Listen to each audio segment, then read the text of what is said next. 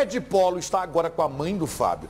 Boa noite, Ed. O dinheiro já está na conta da dona Maria? É isso que o povo quer saber. Boa noite, Siqueira. Boa noite a todos que acompanham o Cidade Alerta. Cidade Alerta, né? Esse dia muito especial. Olha que bacana, viu?